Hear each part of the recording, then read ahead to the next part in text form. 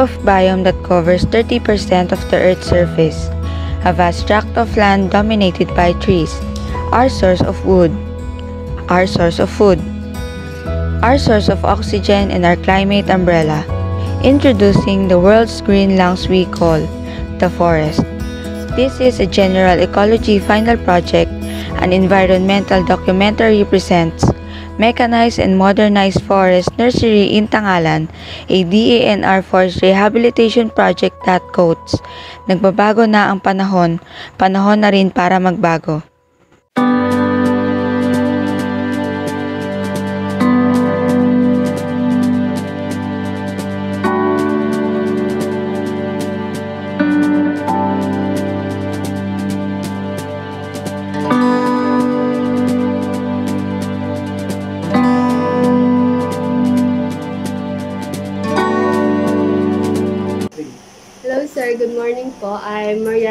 Mariela P. Trance from Akon State University Banga Campus, a biology student, major in microbiology. Second year college.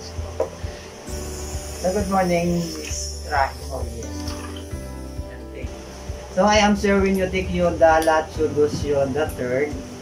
Dalawa ako name, Sherwin and Yotikyo. Middle name ko is Dala. Chudosyo is my surname and the third. So, ako ang assign as nursery manager of Mechanized and Modernized Forest Nursery. This is one of a kind facility of DNR. Kimo, ano do, alin do climate change? Ang pagbago-bago ng panahon. Na, Dahil sa aton nga lang nga kung kita man ato na nasaga eh. Kabagong causes. Gusto naton do niyang nga gusto naton nga maging um, convenience do aton nga pagpanaw, masakyan kita. Nagagamit kita, gabornin kita sa fuel, kaya post carbon emission. Ag mapagsamad nato na sa bukid, especially ang pag pag shifting it aton nga ah, mangrove areas for settlement. Oo. kabaho-baho nga saga. Kaya pag inutod mo mangrove is pila percent doon na kung ginabalik nga carbon dioxide. Times 5 yata. Mm-mm. Kaya gaano gida kami sir sa mangrove planting man. oh ga kaya ga at least nagaproduce man kami. At- pero may ato mat ang mga areas nga nagaproduce ng mangrove. Special nato ng pangalan mo ang Bakawan Eco Park. Yes, sa Wili sir no? may sa kalibo Ay, sa kanila. Promise. So, balik sa ato, sir, di ba, nang tingin mo, alin do na bulig it forest rehabilitation sa climate change? in-establish IMAW for support sa National Greening Program to produce seedlings for the massive rehabilitation ko ato ni forest land. Pagit IMAW widely known iya sa province of Aklan. So, maski una siguro sa ASU, hindi pagit IMAW masyado well known si Sir Bisan. Ato anay, is wa may mga masyado gintutukan. Sige lang, linutod, sige lang kaingin. So, naalarma na ang government. Then medyo kapingid makaroon nga naga iba-iba na nga panahon. So then atong purpose is for massive rehabilitation ko atong forest land through seedling production. So, so ang purpose is to produce seedlings na gagamitin for tree planting activity para ma-rehab ang mga damage nato ng forest land sa mga kaingin, mga wildfire na nag-occur at sa mga illegal activities na ginagawa sa forest land.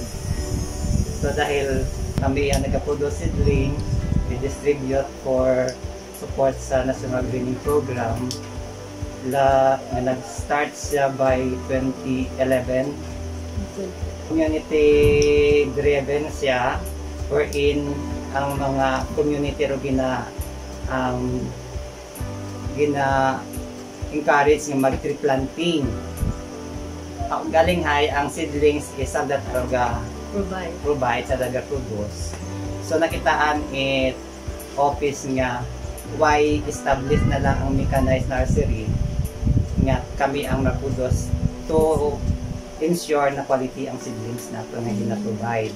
So, hindi na sanda mag-produce, more of tree planting na nasanda. Preparation of site and planting of gina-produce ang seedlings. Ah, starting last year is nag-concentrate sa production of bamboo. Dahil target of atin na yung uh, DNR Secretary na magiging bamboo capital atong panay. So, si, may, may, kung nag-start yung kamusaray, siin nga lugar, sir? Ang tag, aton ano, niya. tag sa bamboo. Um, abo-abo kita, different municipalities. Oh, So dahil nag, nag through survey and mapping ang mga applicable, ang mga suitable nga mga areas, lugin tagitan ko bamboo production. Mataas abi do absorption is bamboo sa carbon regarding Mhm. sa sa ano sequestration of carbon dioxide sa air. Ag dasig man ima magtubo.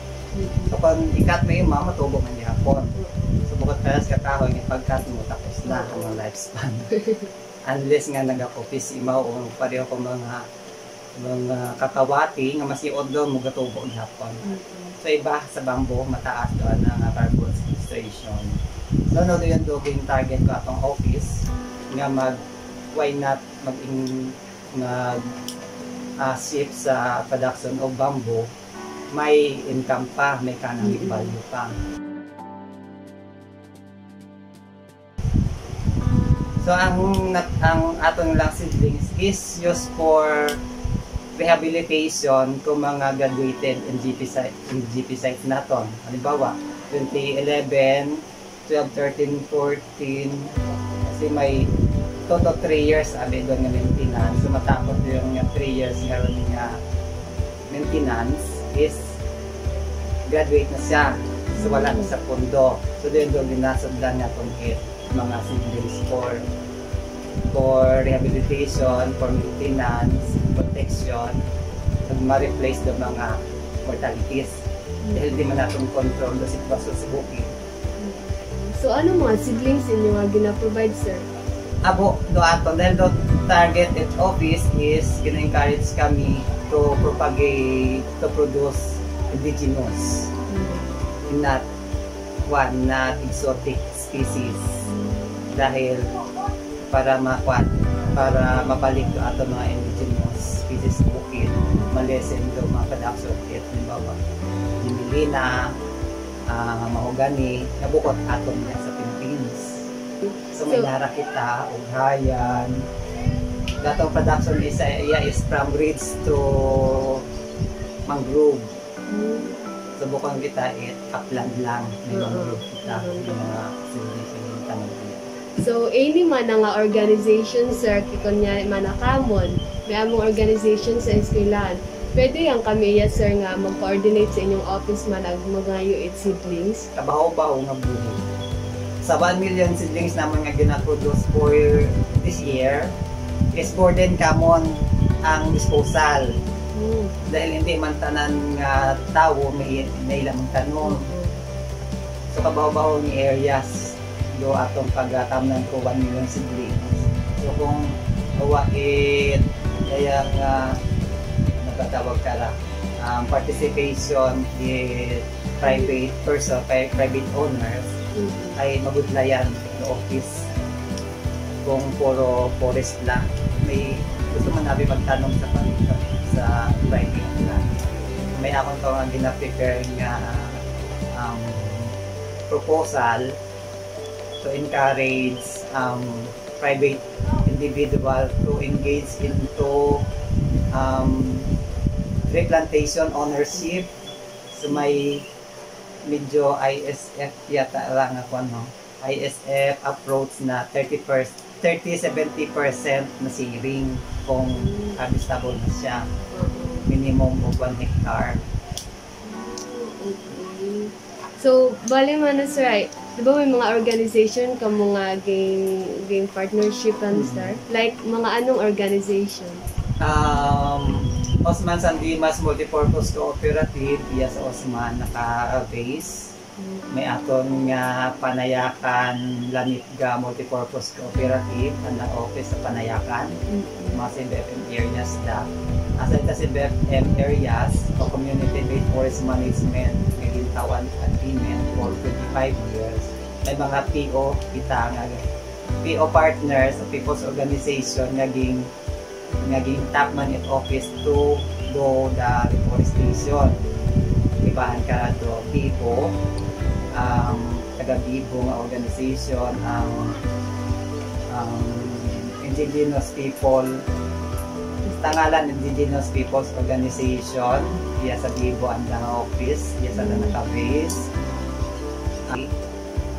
Hawili Bantay Kalisa, Kalikasan Workers Association? Uh, iba pa.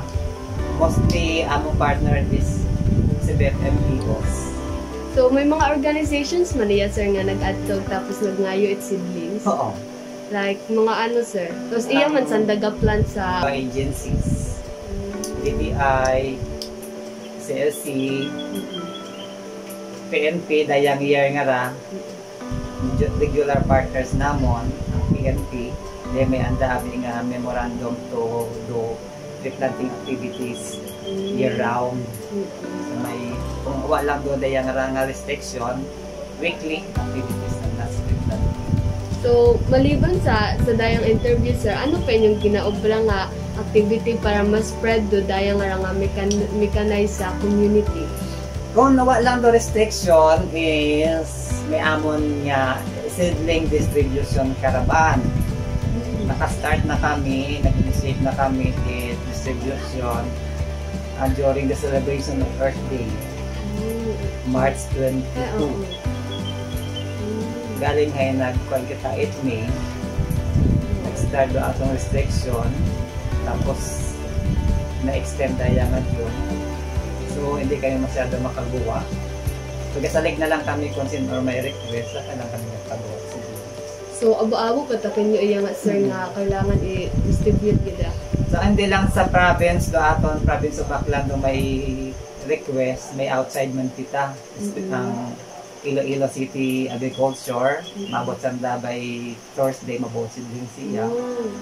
Ang do kapin do kapis ah, for their 1 million kahoy project. So, di ka na ako gat kuan, gina, kuan, gina, um, ang batawag ka na ho. Ginatugad ko do andang aron nga andang project nga 1 million kahoy project. Mm-mm. encourage ko man to aton mga private owner nga mag mag for a tree plantation ownership. Mm. Sa bilog nga mga gina-require natin na magtanong kita at least 10 seedlings a year sa ato aboard yan.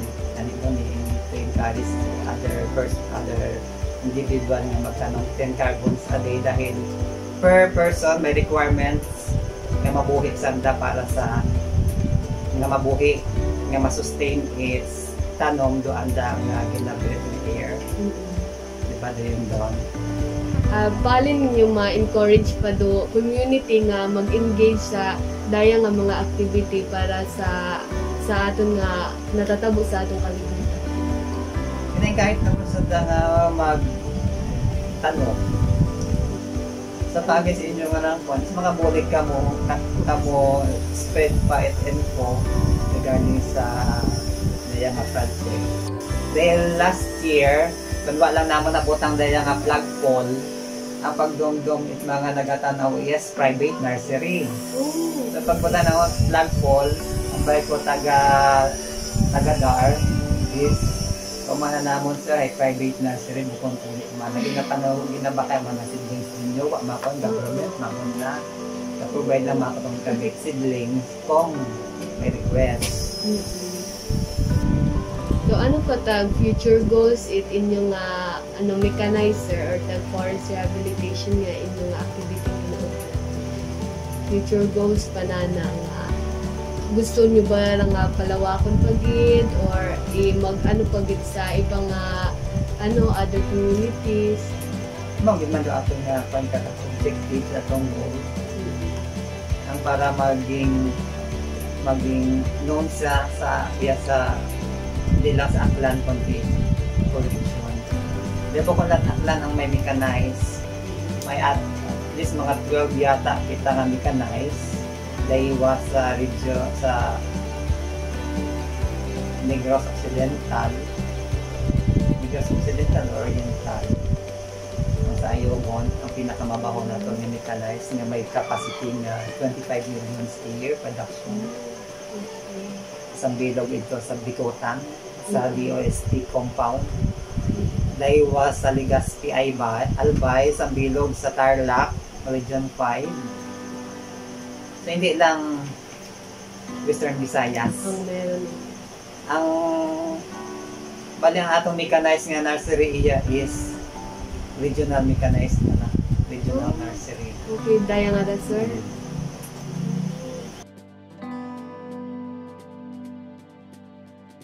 Sa dato nga disposition of seedling is maximum 100 pwede kami magtao sa private individual. Mm-mm. Kung maximum kung sosobra sa 100 is ga-require na kami letter request. Kung do tree planting activities ay i- initiate it government, mga tree planting nga ron,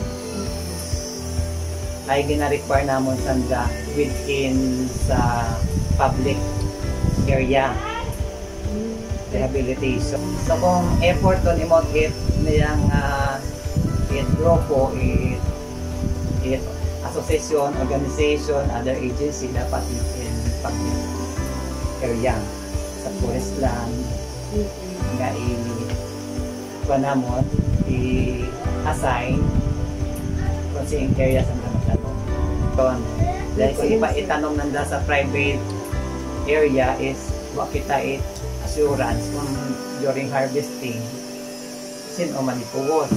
Mm. Okay, kung iyon sa Tangalan, sir, saan nga area inyo So ginaasa? within niya sa reforestation project ikawin. So, May ano, may requirement for the renewal ko andang mga yung tanong. Halimbawa sa Boracay, sa mga asosasyon niya sa mga sakyan, Mm-mm. na gina-require sa the 40 planting activity, ay gina-require namon sa andang nga andang area nga pagatamnan is within public land or tribal land para ma-ensure nga do do government gahapon do makabenepisyo ko area ko ano ano. Then, ano ba ang ba ko na kung one uh, maximum of 100 sa private individual. Sa naman tanong sa naman ma-maintain basta magtubo na na siblings. So dako na itong plano for encouragement ng tree plantation ownership. Is pabulik kami it niyang uh, it maintenance. Dahil may partnership, may memorandum of agreement na magawa. At may ano, may um, sharing 70 70-30 percent. Oo. May ikadugang pa ikaw, sir, about sa inyong activity. Juan, welcome iya do do mga grupo nga mag-conduct ipating session. Ag sa bilog pa naman nga target is i-open imo da for public. Galing hindi pa imo masyado abi dayang kabay nga matapos ang dayang pandemic. Dahil target namon nga maging um, sa isa sa tourist destination it Awili, bulig kita baho-baho kita sa Tangala Mm-mm. na maging tourist attraction ay um, technological at technology transfer Mm-mm. kasi na gusto nga mag-join mag-conduct activity um, field trip especially sa mga estudyante Mm-mm. regarding sa activities production ating sesyon, welcome biya kamo. Na matunan naman sa like proper potting, transfer of seedlings from trees to potting bag, mga maintenance treatment of sa sa mga schools. So, nagkakanda kami yan mga pano, mga experimental man, trial and error regarding Like sa yost paano sorted nga combination of potting media, paano i-break ang dormant seedlings, Mm-hmm. paano ma-speed up doon ang availability, ang germination. Oo. Doon na mo niya ginawa. Trial and error.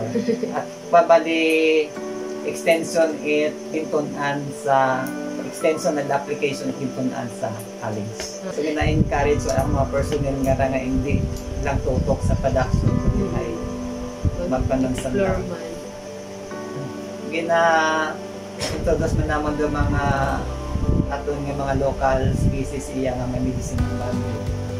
Mm. So kung magkanta kami karaban, so gina-introduce namon do mga um, seedlings naton niya nga gina-provide nga may medicinal value pares ko. Like ano? Cinnamon, may atong gali iya. Oh. Ano to beneficial and cinnamon?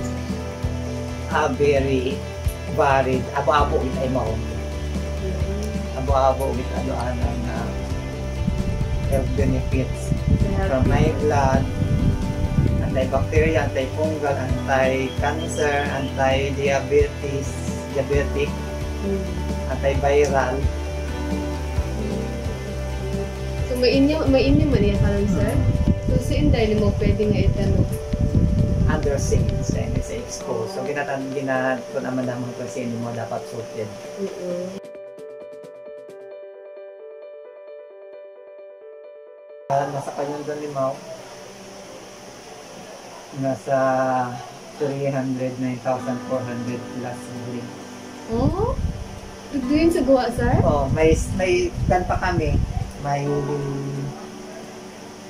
may hingabotan pa kami more or less 700,000 before end of October. So paano sir kung di mo ma-distribute man no? ay overgo ng dahil yung imo. So dahil yan, ito mo niya pala yung burden kung paano namon imo i-dis I-distribute.